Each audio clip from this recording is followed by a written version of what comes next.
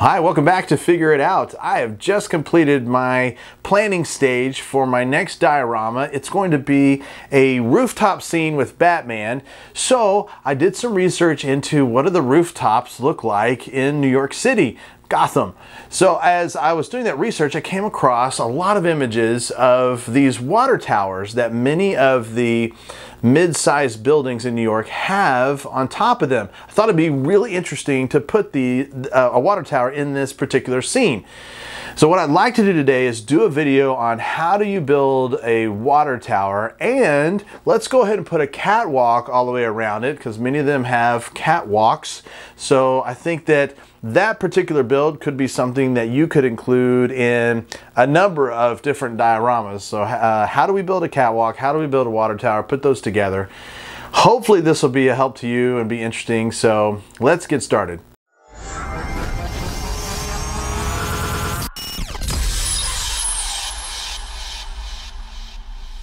All right, well starting this project, I'm gonna cut some strips for the tank what I found out is that most of these tanks, these water tanks, are made out of wood. So we're going to make this look like wood.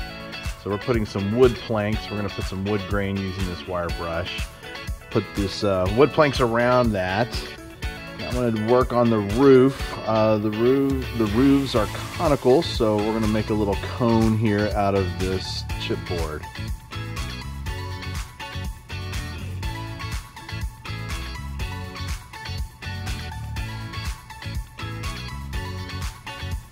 Once that's glued on, then we're going to uh, put the little triangular pieces on top of that chipboard to make it look like the roofs do on the buildings.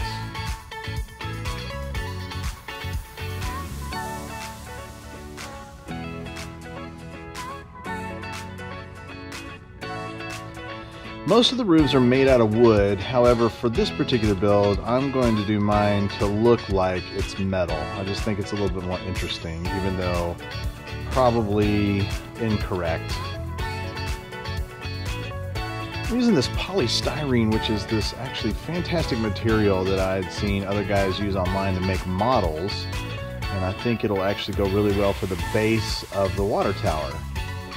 So it cuts very easily. You score it, and once you score it, you kind of snap it, and it goes great. It uses this weld-on number three. I saw this little trick as I was watching Adam Savage's channel where he pours a little bit in the top of a Coke can and uses it to dip his pieces in as he's model making. This didn't really work for me that well, so I stopped doing it. It evaporates crazy fast. So I got done with this little section and then all my weld-on number three was gone. It evaporates super quick. So I didn't use that can trick for very long.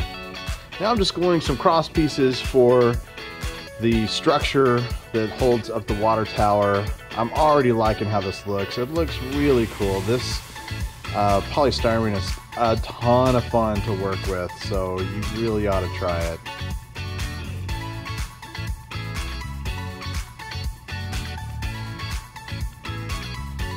Comes in different sizes and shapes and thicknesses, so I'm using some round pieces as well as some square pieces for the structure.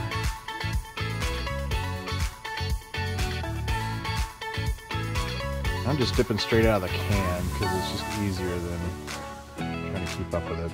Ah, I think that looks so cool. So one of the things that I discovered that was going to be problematic early on was how to cut out the catwalks. Like there's going to be six catwalk pieces around this circular structure and I need all of them to join up at the right angle and I need them all to be the correct length. And there's actually two lengths because I have an inside piece and an outside piece to make a catwalk. So I have six of these pieces that are going to be surrounding this round structure. I'm not making them curved I'm making them straight and they have to marry up at the right angle and I need to know what these distances are these lengths of these cuts so I knew that this was going to be a little complicated. I reached out to one of my subscribers. Uh, his name is Mason and he is an engineer. And he walked me through all kinds of formulas and I learned a lot and how to cut these things out. But I wanted to show you guys what I learned and how you can figure this stuff out for yourself without uh, complex math. So I've gone ahead and drawn my circle here and this is how you can figure out how to make you know straight catwalks around a round structure.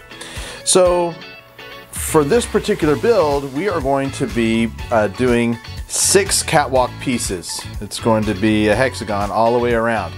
And so I need to figure out um, some, I guess some geometry. So some things that you should know that in a circle there are 360 degrees all the way around. And in your half circle it's 180 degrees. And so when you're trying to figure out with six pieces joined what the angle should be, I can divide this number, this 360 by 6 and I get 60 degrees. So I know that my cuts need to be 60 degree angles and so I cut a triangle out at 60 degrees, this uh, uh, mark here, and that's going to help me lay out my cuts. And so I'm going to take this point, this 60 degree point, and I'm going to put it at the very middle of the circle and we're going to start drawing our lines. Great, so I have my circle now divided and each of these angles are at 60 degrees. Which means that when I begin to join pieces up here, they will also be at 60 degrees. Now we're gonna take this little triangle right here because I want a catwalk basically to run across this section and join up right here at 60 degrees. Um, in order to do that, I need to get a couple more reference points. And so I can get those reference points by looking at these intersections here and drawing a straight line. I don't want to overcomplicate this with a lot of lines, but it's important to have this because we're going to pull some measurements off of those lines as well. So, as I look for the intersect point of my catwalk coming across here, it's going to sort of touch the circle at this point. I can draw a line across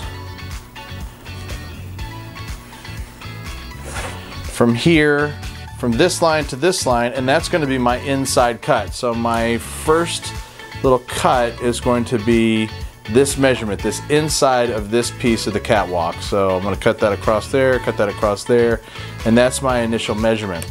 I need an outside measurement also. I need one for the outside of the catwalk, which is going to be the outside of this piece.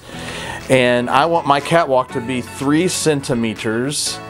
So if I mark off on this vertical line, if I mark off three centimeters from that, right there, and three centimeters here on this side. Here, I can now draw my outside line. Here. And then this becomes the outside piece. So this essentially will be what my catwalk piece will look like. This piece right here is my catwalk measurement. Now I can continue to draw that all the way around and we'll have these same connection pieces coming all the way around. I just need to make six of these and that should complete my circle for my build.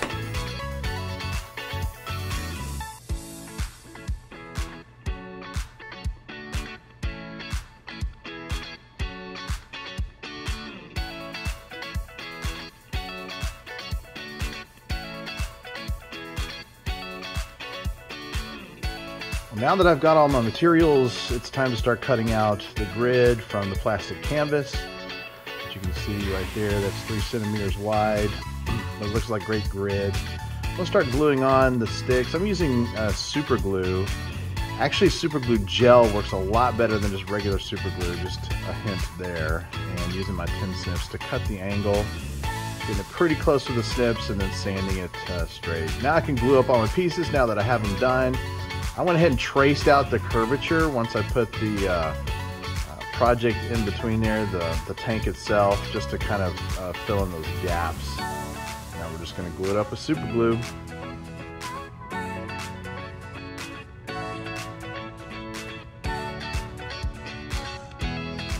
I did, on the last little piece, I did cut out a section so that I could put the ladder on later. You'll see how that looks. So one of those I'm going to create a some balustrades or some um, just uh, some posts that I'm going to put all the way around. I'm going to actually um, I drilled those holes there so I could pull a chain, some jewelry chain through there to make it look like uh, it's been roped off.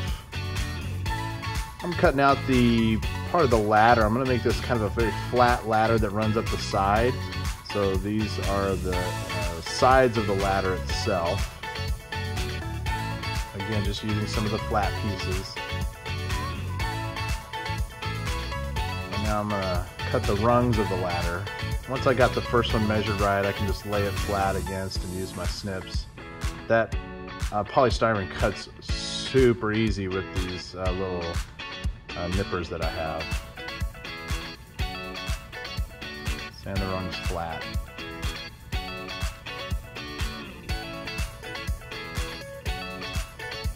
Found that using a, a paintbrush actually works pretty good pulling that um, that weld-on number three out of the can and using it with this polystyrene works a lot better than just trying to dip it in the can. A little more precise.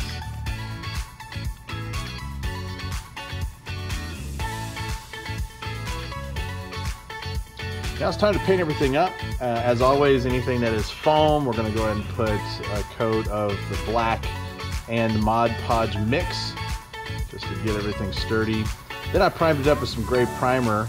Most of the wood on these water tanks is like a maple. It's a real light wood, and so I'm going to start with this light, but, but most of them are also very weathered. So I'm kind of mixing this uh, lighter tan color with some gray and this is just a base that I'm going to go over with a ton of other layers because you can see that kind of that gray mix in there. I'm going to go ahead and give the uh, roof a little bit of a shine like it's metal, so a little metal dry brush going on, which I think actually looks pretty cool.